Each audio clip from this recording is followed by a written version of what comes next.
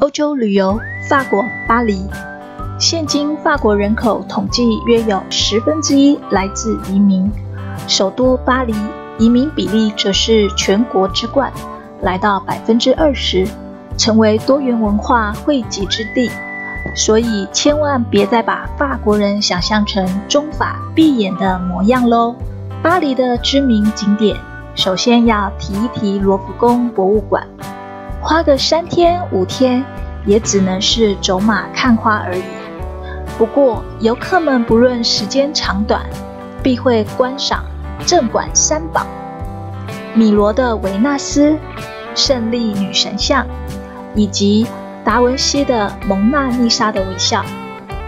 维纳斯是希腊和罗马神话中爱与美的女神。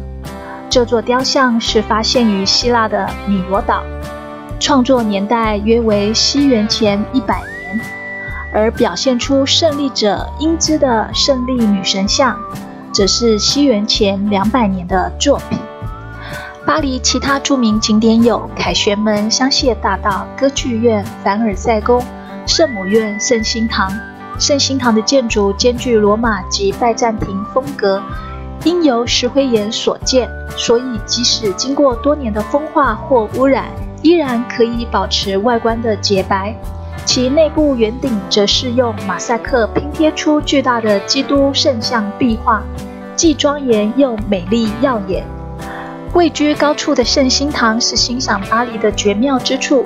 从教堂后方往下走，就会经过特尔特广场，此地曾有许多著名画家驻足于此，因此又称作画家村。